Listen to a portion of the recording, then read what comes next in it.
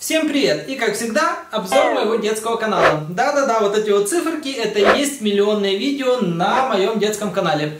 Постоянным моим зрителям, наверное, я уже надоел э, начинать каждый ролик из хвастания своего канала. Но я это делаю для того, чтобы когда у нас заходит новый человек, он понимал, что мое мнение можно слушать, что оно заслуживает уважения, поскольку если э, я достиг на своем канале этих просмотров, то значит я что-то уже понял в этой тематике и что-то могу вам подсказать. Итак, э, поехали! Сегодня мы поговорим, с чего начинается детский канал. Какое нам нужно оборудование, какая нам нужна техника, потому что сейчас в комментариях мне посыпалась просто масса вопросов, какой свет купить, какие камеры купить. Люди еще не начали снимать видео или начали только 2-3 видео сняли и уже хотят вложить кучу денег. Эм, так не делается. Во-первых, он может вам не пойти. Во-вторых, вам может сам этот процесс не понравиться. В-третьих, у вас ребенок может не захотеть сниматься. Вы же не будете его с под палки заставлять, правильно?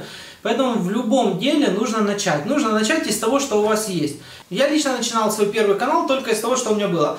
Да, я не начинал, конечно, с телефона, потому что у меня была уже вот такая вот камера, я покупал себе просто для фотографирования, и поэтому, поскольку она уже была, я начинал уже с нее. Немножечко фора у меня была, но это все равно старая камера, в ней нет еще ни стабилизации, в ней нет, самое главное, это э, автофокуса. Насколько она меня замучила своим э, ручным автофокусом, и не я снимал где-то, наверное, года полтора я не снимал. Это просто был ужас, когда тебе нужно ручной автофокус. Особенно в детских видео. Одно дело вот такие сейчас видео снимать, как вот я сейчас стою, просто поставил, фокус выставил, ну максимум я отошел, фокус чуть построил, я подошел. Но в детских видео, когда он перебегает, когда он бежит, когда он на машине едет, это был просто трэш.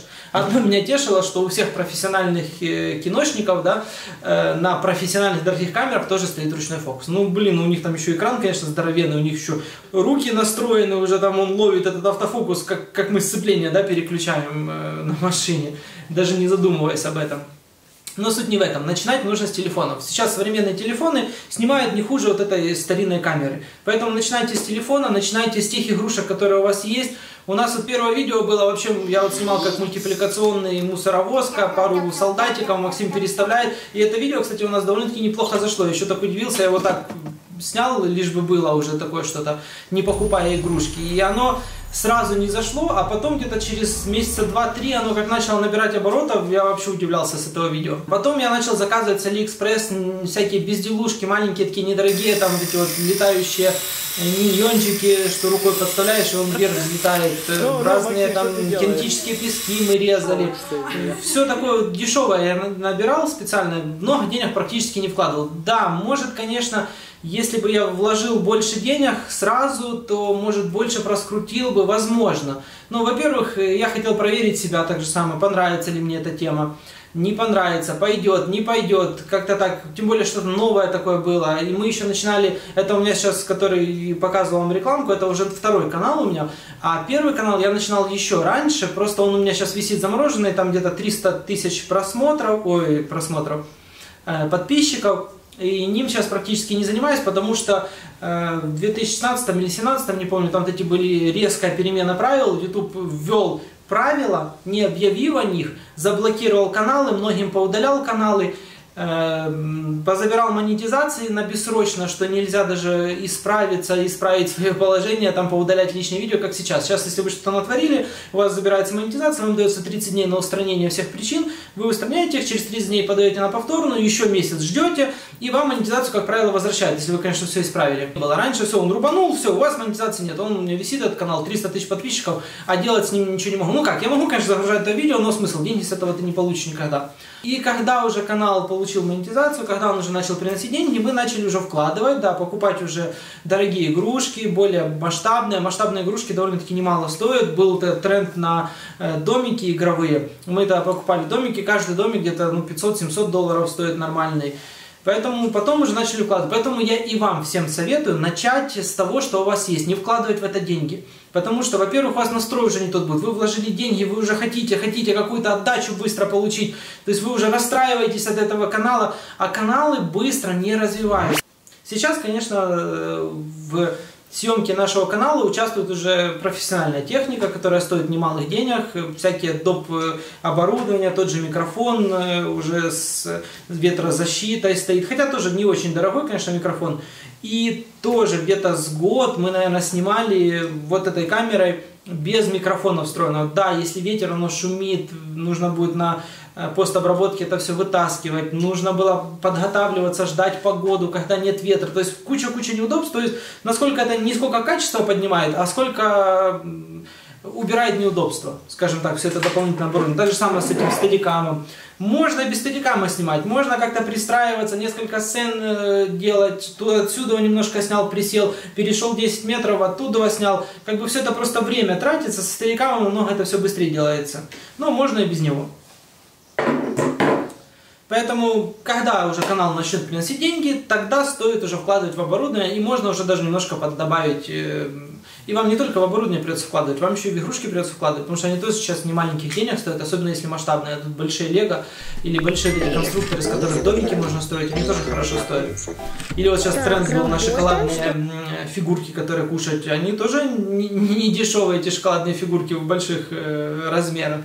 Мы тоже там нормально так прикупили. Ну, у нас и видео, которое с шоколадными фигурками, одно из первых вышло, более 20 миллионов набрал. То есть оно все себя все равно окупляет, еще и легко, еще и останется.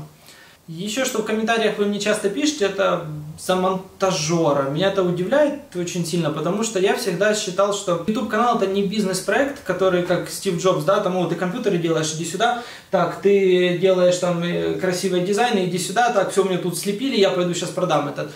Да, отчасти, конечно, бывает исключения. Можно и так, какой-то там талантливый менеджер может так и может организовать YouTube канал. Но, как правило, многие сейчас, да, вы мне скажете, э, я уже сразу наперед вам на ваши вопросы отвечаю, что многие каналы так сейчас и делают. Понабирали огромный коллектив, тот же Вилсаком и все остальные, да, и них работает. Но э, человек этот начал сам все, то есть он сам делал, он сам снимал, он сам подбирал темы, ключевые слова, он э, сам монтировал эти видео, он был в этом всем, у него уже огромная база знаний, практика, и теперь, когда он берет этих людей, он просто на них скидывает рутинную работу, но за сами, сами именно изюминки он толкает, он следит, он знает, как это должно все развиваться. А человек, который никогда в этом не вникал, он никогда не монтировал это видео, он не знает, какие эффекты нужны, как они должны гармонировать, как они должны составляться. И многие эти эффекты просто ну, ну не в тему вставлены. Во-первых, иногда даже некоторые позиции не ставят этого эффекта в то место, где происходит. То есть, допустим, тут он что-то берет, да, вы делаете всплеск, то всплеск вообще по центру экрана происходит. Потом звуковыми эффектами вообще там ужас творится, просто ужас. Они сопровождают неправильные действия, неправильно подобраны эти эффекты. Поэтому сейчас кого-то нанимать, ну нет, не нужно, это неправильно нанимать. Да, они могут сейчас ваши видео быть не такими, как э, должно быть, но это процесс пошаговый, то есть вы идете, вы развиваетесь, вы не стоите на месте. Если вы не сможете развиваться, значит, вы не, значит это не ваше дело, значит это не ваш канал. Посмотрите, сейчас каналов миллионы этих создают, особенно детских, их вообще масса, масса, масса. Но они 2-3 месяца, они сгорают, просто перегорают. Я даже думаю, может, возможно, YouTube и специально так сделал, что первые полгода он не закидывает рекомендованные. Очень редко, когда видео попадает рекомендованное, если попадает, то там такой маленький этот процент э, происходит. Э, и многие просто сгорают, не, не могут, разви... не могут переждать этот период, дождаться того развития. У нас даже вот второй канал, который сейчас вот уже развился, уже нормально идет у него, э, нормально он так набирает и подписчиков, и просмотры, видео хорошо попадают рекомендованные то он более чем полгода у меня тоже просто стоял. То есть я снимаю видео, я делаю эту работу, я их туда выставляю, а он стоит, стоит, стоит на месте. Да, в тот момент, конечно, можно было еще конечными заставками докручивать. Я со своего первого канала конечные заставки, трафик перенаправлял э, в этот канал. Но тоже особо это не помогало, просто психологически немножко добавляло просмотры. То есть видео набирали тысячу, полторы тысячи, две тысячи просмотров набирали. Немножко психологически легче. Как сейчас многие из вас пользуются Google AdWords, и сейчас масса вопросов ко мне, пользовался ли я Google AdWords. Вот я сейчас отвечаю, что я ним не пользовался. Да, в ознакомительных целях я, конечно, пользовался. Я э, закинул на него где-то долларов 200, наверное, еще когда самый первый канал, когда только начал, наверное, месяц прошел, как у всех просмотров ноль. Закидывал э, ролики сюда в ВК, э, закидывал их в Инстаграм. Ну, чуть-чуть набирали, очень мало просмотров. А, попробовал Google AdWords, закинул долларов 200, наверное. У меня там даже несколько раз какой-то глюк произошел, что я даже с ними списывался. Э, ставил всегда, что там просмотров где-то до 1000, они набирали немножко, тоже психологически, как бы, грубо говоря, поднять, что на роликах немножко есть. И у меня некоторые ролики по 3-4 тысячи с Google AdWords набирали, деньги за это не снимались. И такое вот несколько раз у меня происходило. Я им писал, не пишу, это у нас сбой какой-то произошел. Не переживайте, типа, я думал, что вдруг меня там сейчас все деньги снимут за то, что я, в принципе, не делал и не заказывал такое количество просмотров. Вернее, деньги не выделял на такое количество просмотров, они не заказывал. Э, ну и он ничего мне не давал. То есть, кроме вот этих цифр, которые в, во время рядом с роликом находятся, да, количество просмотров, он мне никакого продвижения каналу не давал. Э, количество подписчиков увеличивалось, но как-то очень слабо. Не тот процент э, подписчиков от просмотров получался, который должен быть, который сейчас происходит. Советую ли я вам пользоваться Google AdWords, хуже вашему каналу он не сделает. То есть какие-то все-таки дети там попадутся, к вам добавятся, и какие-то просмотры будут, но YouTube не расценит это как уже развитие вашего канала, и не ускорит процесс попадания в ваш, э, вас в рекомендованный. То есть Google AdWords он больше нужен тем э, компаниям, которые занимают, которые производят какую-то продукцию, которые предлагают какие-то услуги. То есть просто как реклама. Но не развитие канала, не развитие влоговых каналов, э, игровых, наших, детских каналов.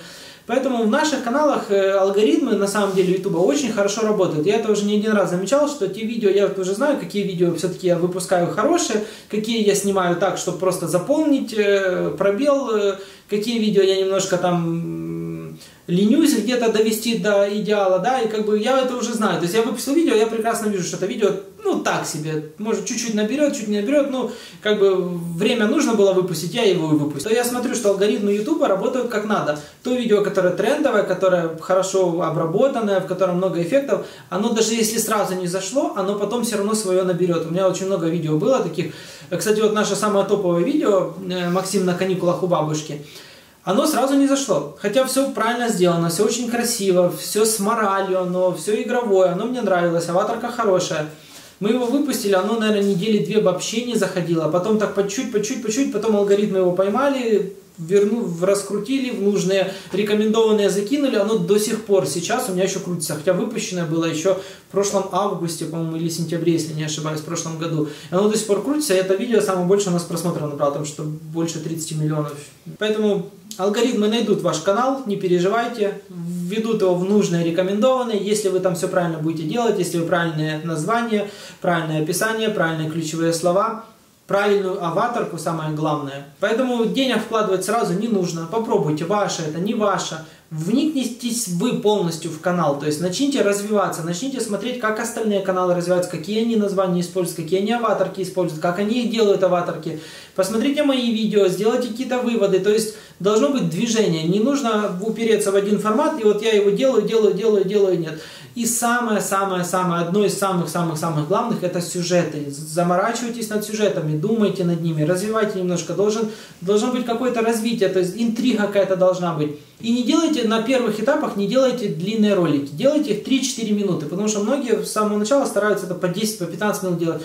Ну, во-первых, их даже уже в развитых каналах, там, где уже личность, скажем так, медийная, да, грубо говоря, между детьми, что его уже знают, они уже уверены, когда нажимают на этот канал, что там будет что-то интересное, и они могут смотреть по 10-15 минут то новеньких очень редко можно чем-то захватить так ребенка, чтобы э, он вас новеньких смотрел 10-15 минут. То есть это должно быть развитие сюжета долгое прям. Что касается рубрики э, анализа детских каналов, то, наверное, я это буду не как видео выпускать, а, наверное, еще немножко подожду развития канала, чтобы хотя бы тысяча подписчиков активных как бы зрителей у нас была.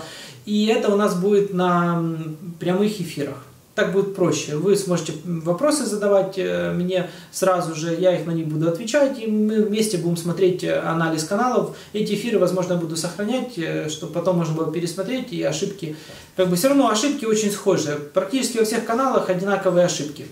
Нет сюжета, неправильные аватарки, очень длинные и непонятные названия не в трендах. На этом, думаю, все с этим видео. Э, дальше пишите в комментариях, что еще интересно, что вас интересует. Комментарии я все читаю, стараюсь на все отвечать. И когда наберем тысячу подписчиков, я думаю, тогда мы начнем прямые эфиры, вам будет немного интереснее, удобнее, потому что вы сможете напрямую задавать вопросы и онлайн сразу же получать ответы. А сейчас пока, как обычно, лайки, репосты, подписка, рекомендация друзьям. Пока!